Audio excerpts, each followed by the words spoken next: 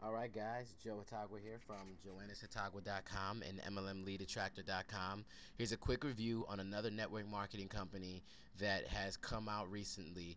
I hear I've been hearing a lot of things about this company, so I went and did my research and did a review. Do not join before reading this review.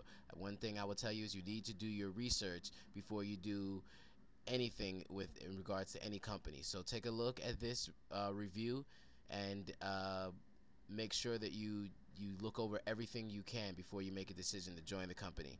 I look forward to seeing you all at the top.